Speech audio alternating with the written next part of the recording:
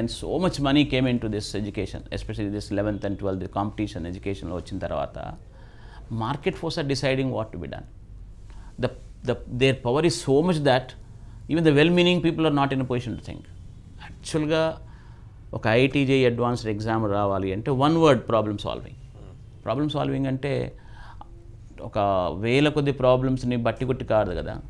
మనం ఎంత నేర్చుకున్నా ఫైనల్గా ఒక న్యూ సిచ్యువేషన్కి ఫేస్ చేయడం.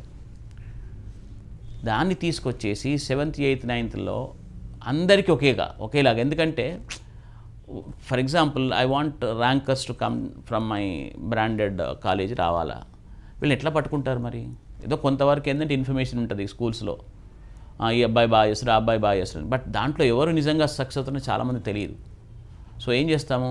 ఒక వంద మందిని తీసుకొచ్చేసి ఒక హైయర్ లెవెల్ ప్రోగ్రామ్ ఇచ్చేస్తాం మనం సెవెంత్ ఎయిత్ నైన్త్లోనే దాంట్లో ఒక ఇద్దరు ముగ్గురు తట్టుకుంటారు. సో వాళ్ళని క్యాచ్ చేసే ప్రోగ్రామ్స్ తప్పిస్తే ఇవి నిజంగా ఆ లెవెల్లో అవసరమైన ఫౌండేషన్ ఇస్తామన్న ప్రోగ్రామ్స్ లేవు.